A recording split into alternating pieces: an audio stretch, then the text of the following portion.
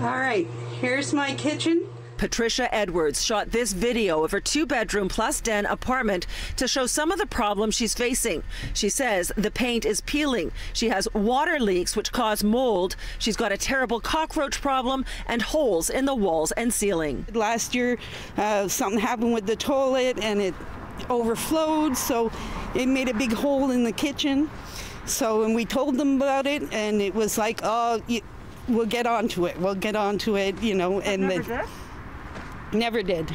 Tenants like Patricia Edwards are far from alone, according to a new report and survey by Acorn Canada, which found 41% of tenants report cockroaches in their building and 55% report they have a hard time getting their landlord to do repairs. One of the most shocking findings, Acorn says, is that fully half of Toronto tenants are unaware that there's a program in this city meant to ensure that housing standards are maintained.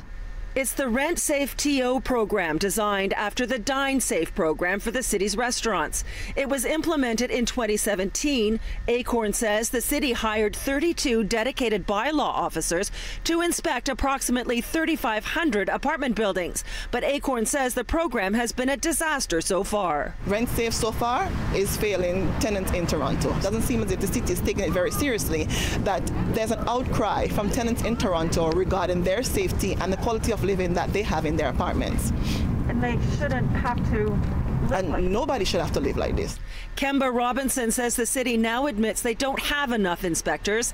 When they do inspect, they only look at the building's common areas, not the units themselves, which Acorn says must change. Not only that, the bylaw doesn't have enough teeth. Buildings are rated with a color coded system, and while one might be given a red or failing designation, Acorn says the penalties end there. We want that um, landlords who are deficient, who are not doing what they're supposed to do, fine as well, because that gives them an incentives of for doing the repairs. Yeah. If there's no monetary fine, there's no incentive to do anything. A staff report will be presented to tomorrow's Housing and Planning Committee meeting that's expected to address some of the rent safe issues. Acorn Canada says it will be there and be presenting its own report with the hope that the city will make some of what they call desperately needed urgent changes to the program. I'm Pam Seatle, City News.